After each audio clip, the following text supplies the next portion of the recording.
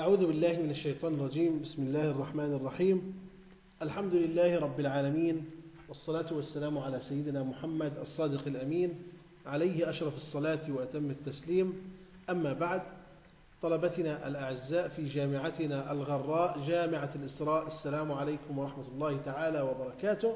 ولقاء جديد يتجدد معكم ضمن حلقاتنا المسجلة في مساق إدارة التسويق هذا المساق المقرر ضمن خطة قسم إدارة الأعمال في كلية العلوم الإدارية والمالية بالجامعة. كنا قد تحدثنا في مستهل حديثنا عن الفصل الخامس المتعلق بسلوك المستهلك. تحدثنا عن مفهوم سلوك المستهلك. طبعا حديثنا كان في المرحلة أو الحلقة المسجلة الماضية كان عن مفهوم سلوك المستهلك. ومراحل قرار الشراء. قلنا أنه عملية قرار الشراء للمستهلك تمر بخمسة مراحل.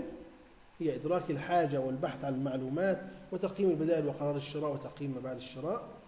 ثم انتقلنا بعد ذلك والحديث عن أنواع قرار الشراء. وبعد ذلك تحدثنا عن المخاطر المرتبطة بقرار الشراء وانتهينا في الحديث. بعد ما حدثنا عن الأدوار المختلفة للمستهلك في قرار الشراء. اليوم بإذن الله تعالى نكمل سويا هذا الفصل في التسجيل الثاني المتعلق بالفصل الخامس متعلق بسلوك المستهلك وسنتحدث بإذنه تعالى عن العوامل المؤثرة في سلوك المستهلك. لأنه كل قرار شراء في مجموعة من العوامل الداخلية والخارجية المعروف أنها بتأثر يمكن أن نصنف هذه العوامل بشكل واضح وجلي للتسهيل والتجميع والفهم في أربع مجموعات. هي العوامل النفسية والعوامل الثقافية والعوامل الاجتماعية والعوامل الشخصية. نتحدث عن كل من هذه العوامل بإسهاب إنها مهمة جدا العوامل المؤثرة في سلوك المستهلك العوامل النفسية والعوامل الثقافية ثم العوامل الاجتماعية والعوامل الشخصية. هذه العوامل بتأثر في سلوك المستهلك. اللي عرفنا المرة الماضية أنه عملية اتخاذ قرار الشراء بتمر بخمس مراحل شعور بالحاجة بحث عن معلومات تقييم بدائل واتخاذ قرار الشراء وسلوك ما بعد الشراء. نبدأ إن شاء الله تعالى مع أول هذه العوامل بتأثر في سلوك المستهلك. وهي العوامل النفسية. لأن سلوك المستهلك بتأثر نهاية مجموعة من العوامل النفسية. مثل ماذا؟ من العوامل إذا تحدثنا عن العوامل النفسية بتأثر في سلوك المستهلك لابد أن نتحدث عن الدوافع والإدراك والتعلم والاتجاهات. خلينا نتحدث عن واحدة واحدة فيهم. الدافع أول شيء الدوافع. الدوافع هو حاجة لأنه نتكلم عن الدوافع. فالدافع هو حاجة. تحث بشكل كافي لجعل الفرد يسعى لإشباعها هذه الحاجة فيها محراك باستمرار. دافع داخل. فيها دائما سعي لجعل الفرد يسعى لإشباعها بالتالي يقاد سلوك المستهلك بالدافع لإشباع الحاجة المدركة ويعبر عن الحاجة عادة كنوع من عدم التوازن بين حالة المستهلك الحالية وحالة المستهلك المرغوبة. حالة عدم التوازن ما بين حالة المستهلك الحالية وحالة المستهلك المرغوبة هذه بنسميها الحاجة. إذا الحاجة عادة تعبر عنها بأنها نوع من عدم التوازن ما بين حالة المستهلك الحالية التي فيها وحالته المرغوبة للوصول إليها. فبيسعى الشخص اللي بيشعر بالحاجة إذا إلى تصحيح عدم التوازن انعدام التوازن. هنا يسعى المسوق إلى تحريض هذا الشعور اللي عند الفرد من عدم التوازن تحريك الحاجة. من ثم التأثير على الدافع لإشباع هذه الحاجة من خلال شراء منتجات معينة. عالم النفس المعروف ماسلو طور نظرية هذه النظرية بشكلها الهرمي عرفها لنا بهرم ماسلو بخمس مستويات من الحاجات الضرورية الفسيولوجية الأساسية التي تبدأ كالمأكل والملبس والمشرب والمسكن. هذه أشياء أساسية للبقاء. إعلان عن وجبات بتقدم أحد المطاعم بهدف إثارة الجوع ثم تتدرج صعودا نحو الحاجة إلى الأمان وبالتالي يركز مصنعو أجهزة الإنذار على هذه الحاجة ثم الحاجة إلى الانتماء هذا ما تحاول بعض شركات العطور التركيز عليه في الاحترام وتقدير الذات وانتهاء بتحقيق الذات. ماسلو أشار إلى الحاجات في هذه المستويات العليا اللي لن تؤثر على السلوك قبل أن يتم إشباع الحاجات في المستويات الأدنى وبشكل جزئي. إذا الحاجات في عندنا خمس مستويات في هرم ماسلو. الهرم. شكل الهرم. لن يتم البحث والتأثير والتأثر بالحاجات العليا قبل أن يتم إشباع ولو بشكل جزئي الحاجات الدنيا الأساسية. هنا تجدر الإشارة إلى أن ترتيب الحاجات في هرم ماسلو ممكن يختلف من ثقافة إلى أخرى؟ هذا الشكل اللي بين ايدينا هرم ماسلو للحاجات الإنسانية في عندنا مستوى اثنين ثلاثة أربعة خمس مستويات بالتدرج الحاجات الأساسية الفسيولوجية جوع وعطش ومأوى والجنس بالإضافة إلى المستوى الثاني يرتقي فيه الأمن والحماية ثم الانتماء ثم الاحترام وتقدير الذات وتحقيق الذات. ما بننتقل من مستوى إلا بعد لمن أعلى إلا بعد إشباع ولو بشكل جزئي. هذه في مجموعة من الانتقادات الموجهة لهذا التصنيف لكن هناك تبني بشكل كبير من خلال المسوقين أنه بعبر بشكل غير مباشر عن المنافع التي يمكن أن يبحث عنها الناس في المنتجات تبعا لظروفهم المحيطة وهذا التصنيف يذكر المسوقين بأن أولويات الحاجات لدى المستهلكين قد تختلف وفقا لحالات الاستهلاك وفقا لمراحل الحياة. أيضا في حديثنا عن العوامل النفسية اللي بتأثر في سلوك المستهلك نتحدث عن الإدراك. بعد ما تحدثنا عن الدافع المحرك الحاجة الداخلية نوع من عدم التوازن بين الحاجات الحالية والحاجات المرغوبة. هذا كان الدوافع. الآن نتكلم عن الإدراك المعنى اللي بيعطيه الفرد للمثيرات المكتشفة. في مثيرات مكتشفة. فهم الفرد. إعطاء معنى لهذه المثيرات المكتشفة من خلال الحواس الخمس البصر والسمع واللمس التذوق والشم.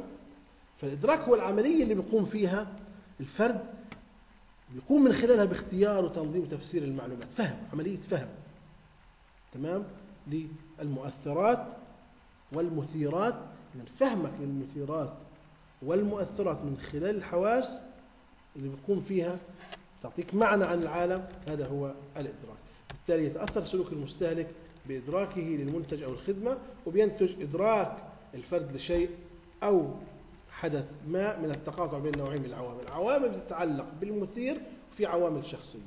حين إدراكك سيكون نتاج لماذا؟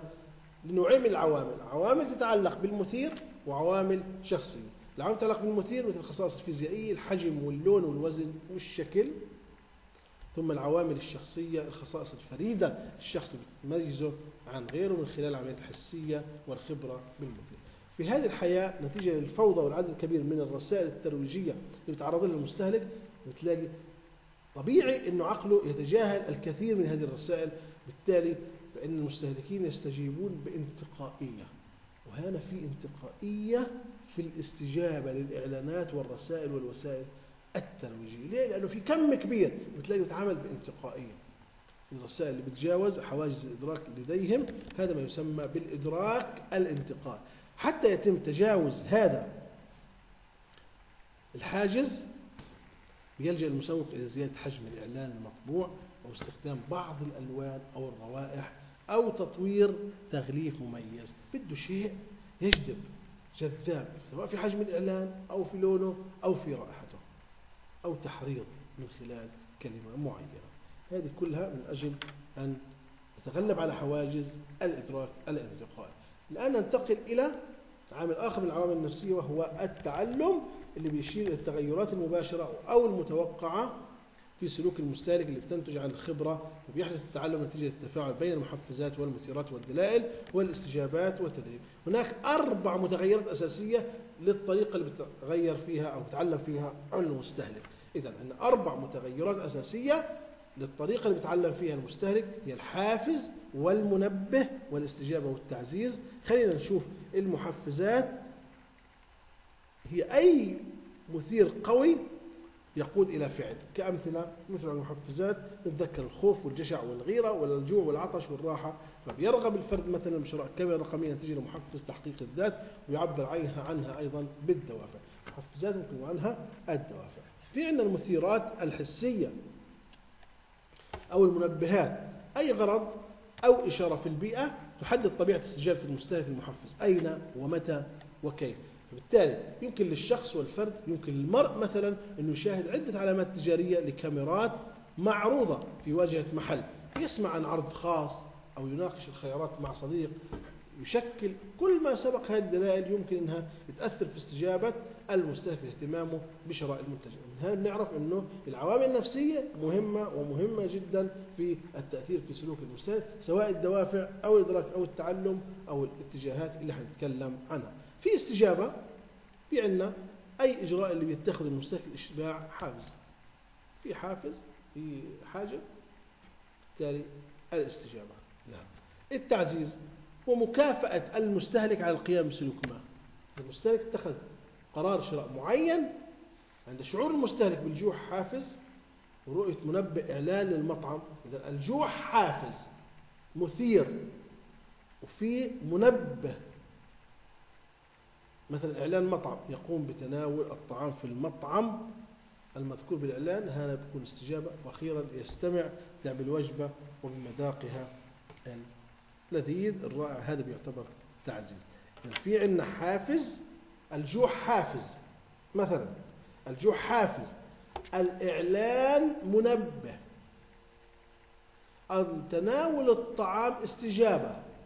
الاستمتاع بتناول الطعام بيكون تعزيز الاتجاهات العنوان الأخير اللي بنتحدث فيه ضمن العوامل النفسية الاتجاهات بتأثر إدراك المثيرات بالاتجاهات بيعتمد قرار شراء المستهلك في الحقيقة على اتجاه نحو المنتج أو المتجر وبيشير الاتجاه إلى تقييم ومشاعر ونزعات الفرد المتناسقة نحو شيء أو فكرة محددة. طبعا تتكون اتجاهات عبر الزمن من خلال التجارب الشخصية من خلال الاتصالات ضمن الجماعة فتصبح مع الوقت مقاومة للتغيير لذا بيصبح من الصعب على الزبائن قبول أي تغيير في العمولة أو أي تخفيض في ساعات العمل في تقديم الخدمة أو تغيير مكان الخدمة. هذه كلها اتجاهات إيجابية ممكن أنها تأثر في تفضيل علامة تجارية. لذلك يهتم المسوقون بتحديد اتجاهات المستهلكين نحو عروضهم وقد طورت العديد من طورت العديد من المقاييس لهذه الغاية. في عندنا أيضا المعتقدات اللي بتلعب دور في تشكيل اتجاهات تعرف المعتقدات بأن التصور الذاتي لدى المستهلك عن المنتج. في عندنا تغيرات مثلا حدثت في اتجاهات المستهلكين نحو ماكدونالدز بسبب أن الإعلان ركز على قيام ماكدونالدز بتقديم وجبة الفطور. هذه كلها اتجاهات. بعد ما تحدثنا عن العوامل النفسية سواء بالدوافع أو الإدراك أو التعلم أو الاتجاهات وعرفنا الحافز والمنبه والاستجابة والتعزيز كيف تكون. الآن ننتقل إلى العوامل النوع الثاني من العوامل نتكلم فيه وهي العوامل الثقافية. العوامل الثقافية. لأن العوامل الثقافية مهمة جدا في تشكيل سلوك المستهلك تأثر فيه فبيحتاج المسوق إلى فهم الدور اللي بتلعبه الثقافة بشكل عام والثقافات الفرعية وحتى المستويات والطبقات الاجتماعية في تحديد وتوجيه سلوك المستهلك. لأنه إحنا عنواننا الأساسي العوامل المؤثرة في سلوك المستهلك نتحدث في العوامل الثقافية. دور الثقافة الثقافات الفرعية والطبقات الاجتماعية في التأثير في سلوك المستهلك وهذه مناط اهتمام كبير من المسوق حتى يأثر على سلوك المستهلك. أولا الثقافة مرت علينا كثير استمعنا لها في أكثر من مساق نظرا لأهميتها في الإدارة أنه علم إنساني علم اجتماعي. فالثقافة هي المعتقدات هي القيم هي التفضيلات الأذواق اللي بتورثها وبينتقل من جيل إلى جيل. بتلعب الثقافة دور مؤثر في تكوين رغبات وسلوك الأفراد حيث يتأثر السلوك الإنساني بالتعلم. أثر السلوك الإنساني بالتعلم بشكل كبير. لما يترعرع الأطفال في مجتمع ما يتعلموا القيم الأساسية لهذا المجتمع. يتعلموا الإدراك يتعلموا الرغبات يتعلموا السلوك من العائلة وكذلك من المكونات الأخرى للمجتمع. لذلك كل مجموعة أو مجتمع له ثقافته. وهذا بيختلف تأثير الثقافة على سلوك المستهلك بشكل كبير باختلاف الدول من دولة لأخرى باختلاف الثقافات. يختلف تأثير الثقافة على سلوك المستهلك فيمكن أن يؤدي عدم القدرة على التوافق مع هذه الاختلافات الثقافية إلى أخطاء تسويقية تؤثر على فعالية الأداء التسويقي. لذلك المسوق ورجال التسويق ومنظومة التسويق في المؤسسة يجب أن تكون على دراية وفهم الاختلافات الثقافية حتى لا تقع في أخطاء تسويقية تؤثر على فعالية الأداء التسويقي. لذلك بنلاحظ أنه في شركات خاصة الغربية تقوم بتكييف إعلاناتها ومنتجاتها بما يتوافق مع الثقافة السائدة في دول الخليج. مثلا تعطي إعلانات ومنتجاتها تتوافق مع دول الخليج تتوافق مع أوروبا تتوافق مع أفريقيا وهكذا. أحد أسباب نجاح ماكدونالدز في أوروبا هو سماح المدراء المحليين بإدارة حملاتهم الإعلانية ماكدونالدز نفسها أعطت هامش إدارة الحملات الإعلانية من خلال المدراء المحليين بما يتوافق مع أذواق ولغات المستهلكين يتوافق مع ثقافتهم بدون المساس بشعار العلامة. حتى المحلل الأساسي الشعار والعلامة التجارية لماكدونالدز أن تبقى. وما دون ذلك يمكن التكيف مع أذواق وثقافات المستهلكين المحليين. فعمل ماكدونالدز على تطوير منتجات تتوافق مع أذواق المستهلكين المحليين. بالتالي هنا بنقول أن توجب على المسوق مراقبة ومواكبة التغيرات اللي تحدث في الثقافات عبر الزمن. مهم جدا في التسويق مراقبة الثقافات لأن الثقافات تتغير من جيل إلى جيل عبر الزمن. فمثلا الميل الثقافي في أيام نحو الصحة والثقافة بيؤدي إلى خلق فرص وأعمال هامة في مجال الألبسة مجال التجهيزات الرياضية وتطوير منتجات غذائية أقل غنى بالسعرات الحرارية لأنه ثقافة الناس الآن نحو الصحة والجمال. وإنشاء خدمات متنوعة في مجال العناية بالصحة والرشاقة. في عندنا أيضا من ضمن العوامل الثقافية بخلاف الثقافة الثقافات الفرعية. لأنه معروف كل ثقافة تحتوي على ثقافات فرعية أصغر منها. مجموع هذه الثقافات هي اللي بتكون لي الثقافة الأساسية. مجموع الثقافة. بالتالي مجموعة من الأفراد تمتع بقيم وأنماط سلوكية متمايزة. هذه المجموعات ثقافة فرعية. قوميات أعمار أديان أعراق أقاليم. فهم الثقافات الفرعية بيساعدنا على تطوير استراتيجيات تسويقية أكثر فعالية لأن العديد من الثقافات الفرعية بتشكل شرائح أو قطاعات سوقية مهمة يمكن التركيز عليها من خلال المسوق من خلال تصميم منتجات وبرامج تسويقية من الواضح أنها بيكون في توافق مع احتياجات هذه الثقافة الفرعية وهذه الشريحة. المسلمون اللي في الغرب يميلون إلى تناول اللحم الحلال. طب ما في شريحة صارت ثقافة فرعية هذه موجودة في الغرب وبالتالي يجب إشباعها ويجب الاهتمام بها. يستخدم المستهلكون الشباب مثلا التكنولوجيا الجديدة بشكل أسرع من الشرائح اللي أكبر في العمر والسن. طبعا تختلف طبيعة البشرة واحتياجاتها بحسب العرق المهاجرون بيبحثوا عن نكهات ومواد غذائية شبيهة بتلك التي اعتادوا عليها في بلدانهم الأصلية. هذه كلها ثقافات فرعية. هذه مهم أن المسوق يهتم فيها. بعد حديثنا عن الثقافة والثقافات الفرعية ضمن العوامل الثقافية المؤثرة في سلوك المستهلك ننتقل في الحديث ضمن العوامل الثقافية أيضا المؤثرة في سلوك المستهلك عن الطبقات الاجتماعية. الطبقات الاجتماعية بتأثر بشكل أساسي في سلوك المستهلك وما في غنى عن دراستها والتعرف عليها من أجل دراسة سلوك المستهلك وكيفية التأثير فيه. الطبقة الاجتماعية ممكن نعرفها أنها تقسيمات متجانسة ثابتة نسبيا في أي مجتمع. طبقة تقسيم ثابت متجانس في أي مجتمع. ثابت نسبيا. اللي يمكن فيها تجميع الأشخاص اللي بيشتركوا في قيم مصالح سلوكيات متشابهة. إذا الطبقة تقسيم متجانس نسب ثابت نسبيا في مجتمع. تقسيم متجانس مرة أخرى. ركزوا معي. الطبقة الاجتماعية هي تقسيم متجانس أو تقسيمات متجانسة ثابتة نسبيا في أي مجتمع. فيها مجموعة من الأشخاص بيشتركوا في المصالح في القيم في السلوكيات المتشابهة طبعا الطبقات الاجتماعية بتختلف أحجامها. النسبية باختلاف مدى غنى وتقدم الدول. في الدول المتقدمة تأخذ التقسيمات شكل الألماس حيث يقل حجم الطبقات العليا والدنيا وتصبح الطبقات الوسطى أكبر حجما. في الدول المتقدمة الطبقة الوسطى بمنافعها بقيمها بمصالحها بسلوكياتها الخاصة هي الأكبر شكل الألماس. أما في الدول النامية والأكثر فقرا فبيأخذ تقسيم شكل الهرم. مركزه في شكل ألماس للطبقات وشكل الهرم للطبقات أيضا في الدول النامية.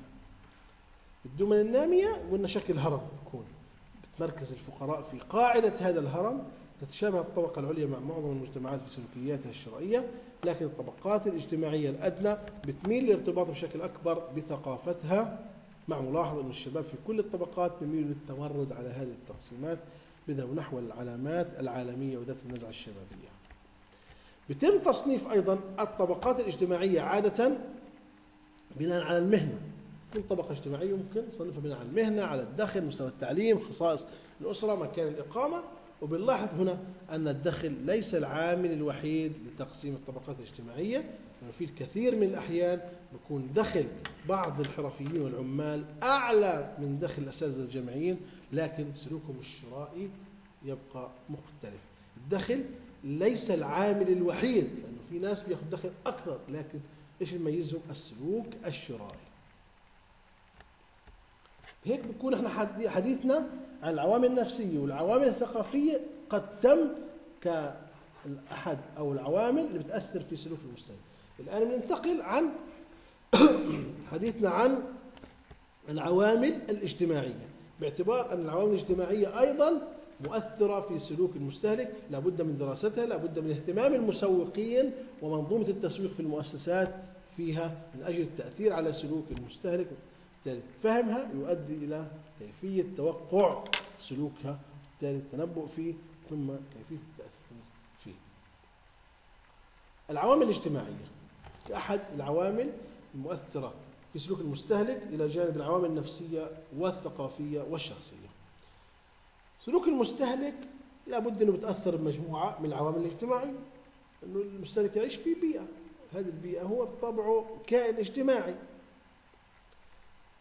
العوامل الاجتماعية اللي ممكن تأثر في سلوك المستهلك مثل الجماعات المرجعية قادة الرأي والأسرة أساسا.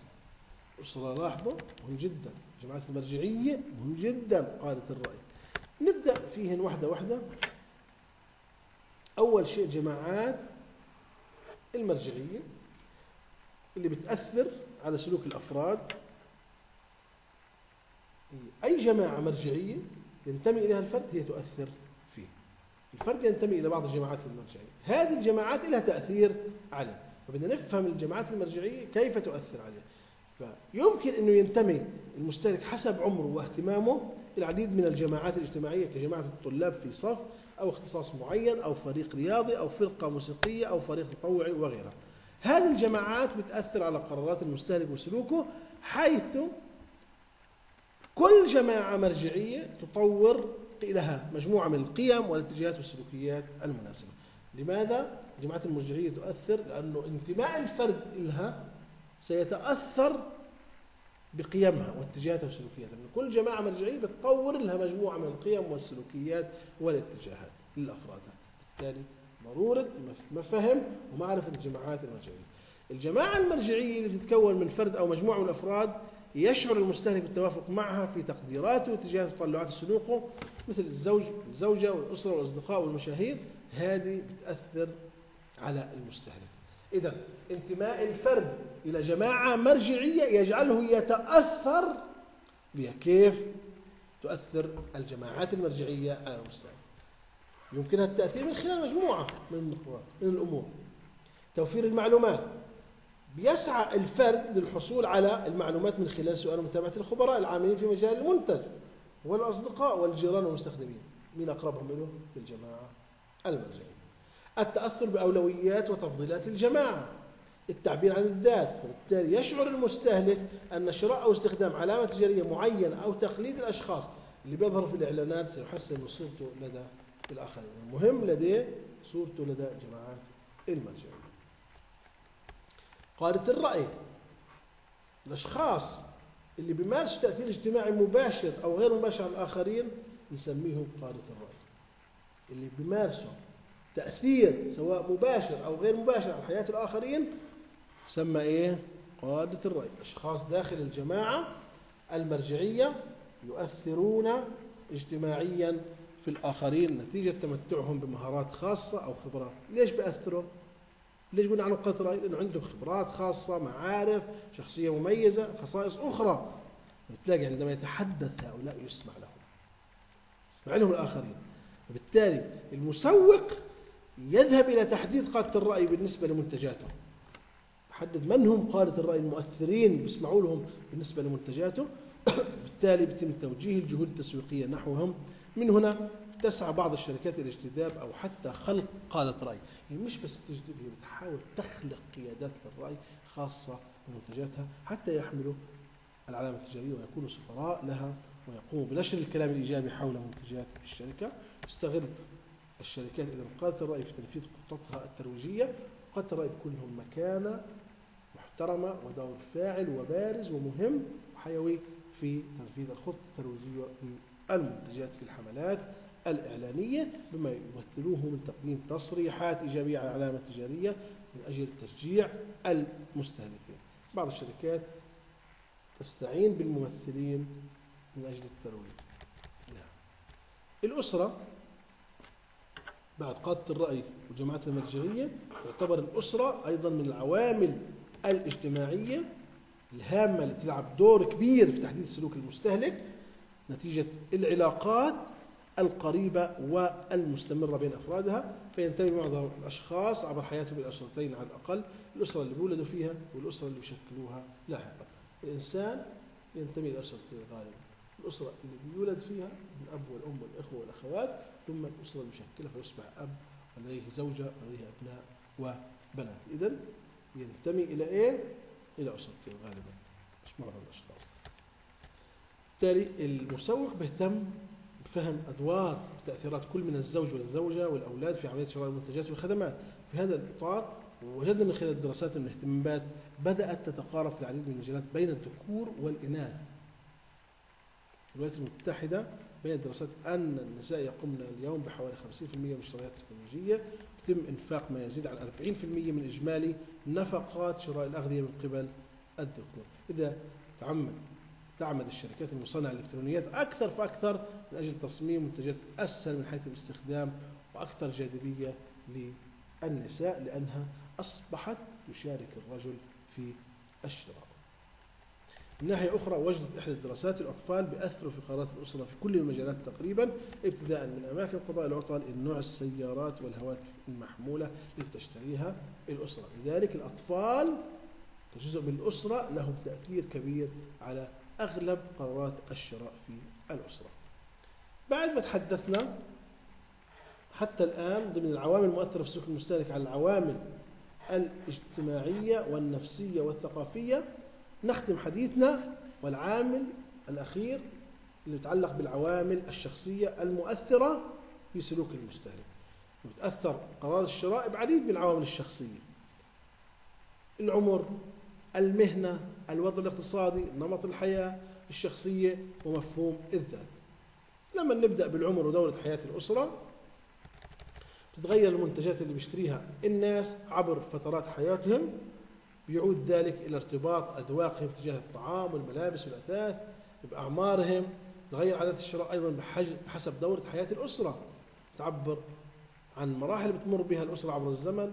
هذه الدورة للحياة مثلا تبدأ يكون فيها عزوبية ثم زواج ثم أطفال ثم شراء منزل طلاق لا قدر الله ودخول الأولاد إلى الجامعة ومغادرة الأولاد المنزل والتقاعد. وبالتالي يعمل المسوقون في الكثير من أحيان التعريف الأسواق المستهدفة تبعا لمراحل دورة حياة الأسرة.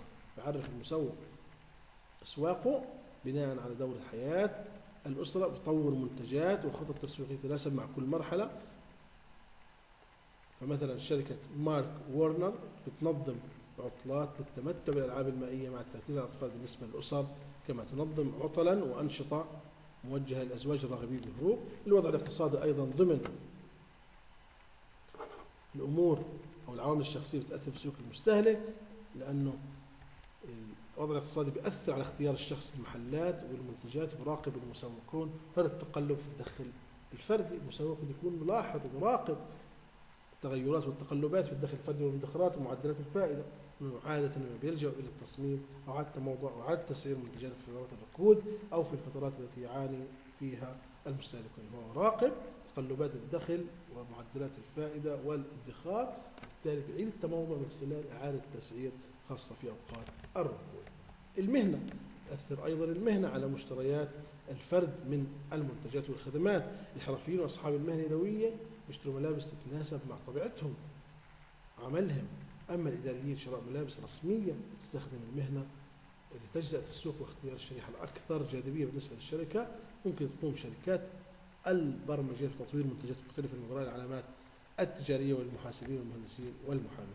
نمط الحياة أيضا نمط الحياة قد يكون للأشخاص أنماط حياة مختلفة حتى لو قدموا من ذات ثقافة فرعية نفس الثقافة الفرعية. ممكن شخصين يجوا منها لكن لهم أنماط حياة مختلفة. إذا كان لهم ذات المهنة. يمكن نحدد نمط الحياة من خلال قياس ثلاث أبعاد AI O الأنشطة والاهتمامات والآراء وبيعطي نمط الحياة فكرة عن طريقة تفاعل الشخص مع العالم وبيمكن لمفهوم نمط الحياة إذا ما استخدم بدقة أن يساعد المسوق على فهم التغيرات في قيم المستهلك وكيفية التأثير على السوق. أيضا الشخصية ومفهوم الذات مؤثرة جدا في السلوك الشرائي الشخصية الخصائص النفسية الفريدة اللي بتقود الاستجابات المتجانسة ودائما ضمن بيئة الفرد الشخصية أيضا يمكن أن توصف من خلال صفات أو ملامح شخصية مثل الثقة النفس السيطرة أو الانطوائية وقابلية التكيف والعدائية والاستقلالية هذا شيء مهم جدا. بالتالي الشخصية يمكن لها أن تكون مفيدة في تحليل سلوك المستهلك فيما يتعلق ببعض المنتجات أو العلامات التجارية. لذلك وجد منتجو القهوة مثلا أن كبار مستهلكي القهوة يميلون لأن يكونوا اجتماعيين جدا. لذا طورت نسكافيه إعلانات تركز على اجتماع الأشخاص حول فنجان القهوة. استخدم طبعا العديد من المسوقين مفهوم مرتبط بالشخصية ومفهوم الذات. كلمة الشخصية دخلوا فيها مفهوم الذات معروف أيضا بالصورة الذاتية اللي يفترض مفهوم الذات أن ما يمتلكه الفرد يعكس شخصيته لذا ولكي نفهم سلوك المستهلك يجب أن يفهم المسوق أول علاقة بين مفهوم الذات لدى المستهلك وبين ما يمتلكه.